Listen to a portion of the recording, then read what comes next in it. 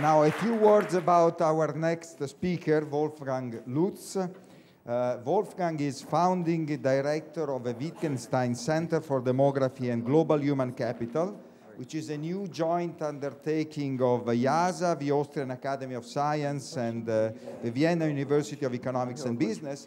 The center was actually uh, created uh, after his initiative, after he won in 2010 the Wittgenstein Award, which is the highest science prize in Austria. This prize had been so far been given only to, um, uh, uh, this is the first time that the, the, the, prize was given to a social scientist. So this is a, certainly a major achievement of, of, of Wolfgang.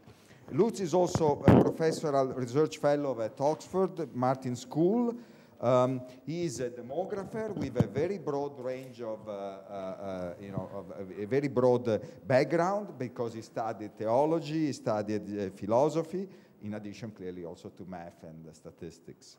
Um, he has received many research grants as an acknowledgement of, his, of the relevance of his work, including an advanced investigator grant from the European Research uh, Council on uh, forecasting society adaptive capacity to climate change.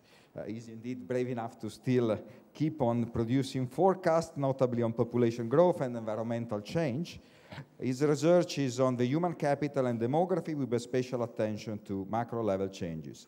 He has also a wide range of publications, including several on natural and science. I asked the demographer of the university here to give me some stories about, uh, to add uh, to this presentation, and they said to me something that I, I, I, let you to decide whether it is relevant or not, but apparently there was an episode of a series of Rex, the, uh, the, uh, you know, in, in which the commissar Rex, which was uh, uh, done in his, in, his, in his beautiful house along the Danube. So I really don't know what is relevant here, but right. perhaps on mortality tables.